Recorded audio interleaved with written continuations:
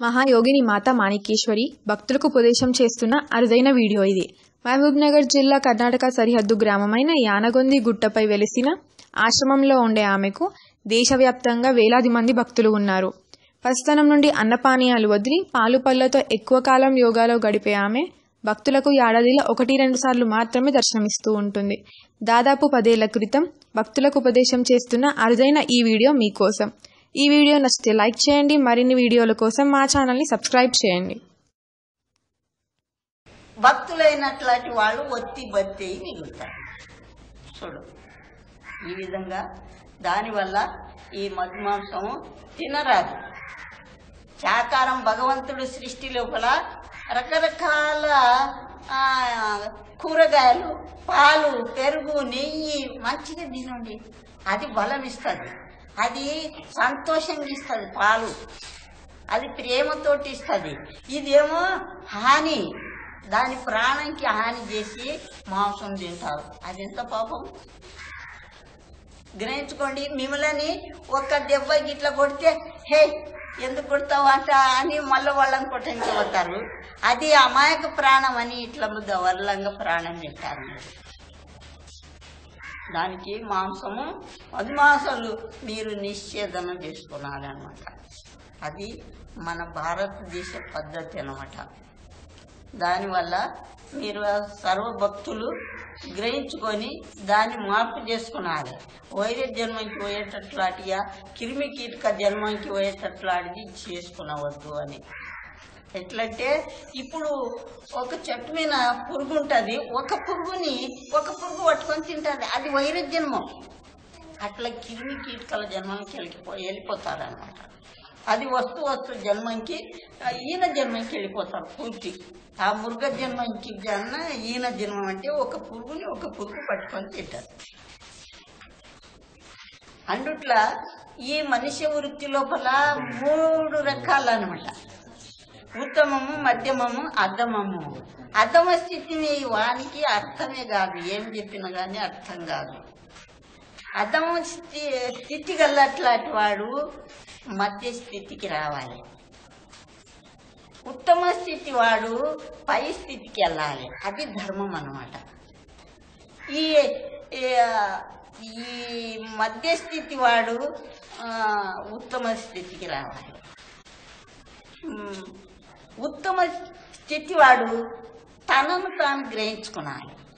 ఇవి ధర్మాలు అనమాట మనిష్య వృత్తి అనమాట మనుష్యుడు గ్రహించుకునే ధర్మాలు అనమాట దానివల్ల భక్తులకు ఏదో చిన్నగా మేమేమి అంత శాస్త్రం చదవలేదు విద్వత్తు నేర్వలేదు దానికి ఏదో లోపల చెప్పాలి అని అందరు భక్తులు ఆదేశపడుతుంటే కొన్ని మాటలు చెప్తున్నాను. అంతే.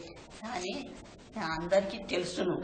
ప్రపంచంలో ఈ వైదిక విద్య ఆధ్యాత్మిక విద్య దూది కన్నా తేలిక అవుతుందని ఇప్పుడు ప్రతి ఒక్క వాళ్ళకు ఆధ్యాత్మిక అంటే గిదేనా అంటారు ప్రపంచంలో అందరికీ తేలికగా అయిపోయింది అది. అధ్యాత్మం అనేది. అప్పుడు గుప్తంగా ఉంటుండే. అధ్యాత్మం అంటే ఎట్లా? గుప్తంగా ఉంటుండే. మంత్రం గురువు దగ్గర మంత్రం తీసుకున్నాలంటే అది ఎక్కడ చెప్పాలి? చెవులని చెప్పాలి ఎవరు వినకూడదని. గురువు దగ్గర మళ్ళీ ఒకరికి చెప్పకూడదు అని. అట్లా పెద్దలు చెప్తుండే అనమాట ఇప్పుడు అదేం లేదు. తేలిక. ఇదే మంత్రం అంటారు.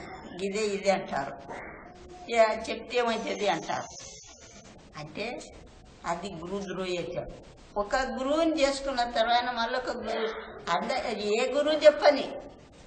గురువు అంటకనున్నావు గురువరిగా నీవు అంతటనున్నావు గురువరిగా. ఒక ఏకస్వరూపుడు పరమాత్ముడు. గురువు అంటే ఒక్కడే. కానీ ఒక గురువుని ఏదో మంత్రం తీసుకున్న తర్వాత మళ్ళొక ఒక గురువుని చేసుకున్నాననే భావన రాకూడదు. అది తప్పు. దానివల్ల ఇక ఇప్పుడు ఈ తెలుగులో ఇది చేస్తాను ఈ కన్నడల ఇది ఈ గుట్ట అటు క- తెలుగు ఇటు కన్నడ మధ్య లోపల ఉండదు అనమాట ఈ గుట్ట. అయితే ఇప్పుడు బాగా గుట్టకు ఇప్పుడు ఊరైపోయింది అనమాట మొదలు మేము ఇక్కడ వచ్చినప్పుడు నేను ఈ గుట్ట మైదానం కొల- కుల్లో ఉన్నది ఆనందంగా ఉన్నది. ఏదో భగవంతుని పేరు మీద ఉండని దినాలు ఆ చెట్టు మీద ఉండవచ్చు. ఆనందంగా గుట్ట మీద తిరగవచ్చు అనుకున్నా.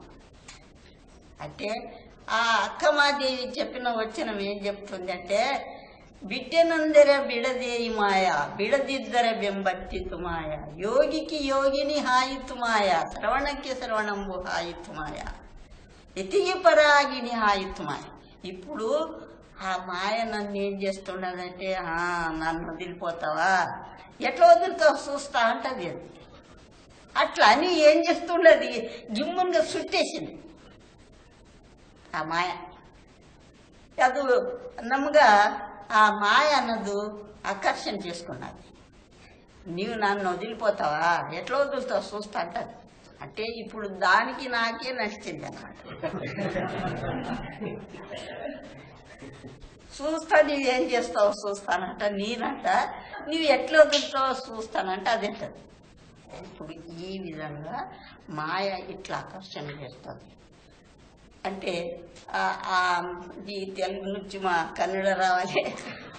కన్నడ నుంచి తెలుగు రావాలి. మరి ఈ అదే అంతా ప్రపంచం అంతా చెప్తుందట.